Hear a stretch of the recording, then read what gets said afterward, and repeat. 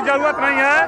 बस वो अपना चेहरा चेहरा दिखाने के लिए आए थे, क्योंकि बिहार की जनता तेजस्वी जी का जो आश्वासन है, बिहार के विकास का जो विजन है, वो उसको जानती है। बस जनता का डिमांड था कि तेजस्वी यादव की जितवारपुर की जितवारपुर की सरजमीन पर आ जाए।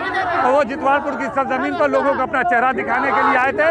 मुख्यमंत्री बनने से पहले लोगों का आशीर्वाद लेने के लिए आए थे कि आप लोग के आशीर्वाद से हम मुख्यमंत्री बनने जा रहे हैं। और जो भी कमिटमेंट जो भी वादा हमने बिहार की जनता से, समस्तीपुर की जनता से किया है, उसको पूरा करेंगे। बस इतना ही बात बोलने के लिए आए कोई भाषण देने के लिए तेजस्वी जी नहीं आए थे।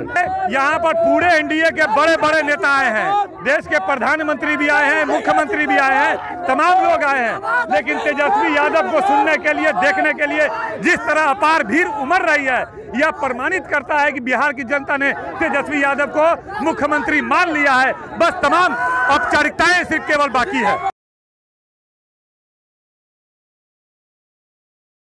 परवाह देश की। सोमवार से शुक्रवार रात 10 बजे टीवी 9 भारतवर्ष पर।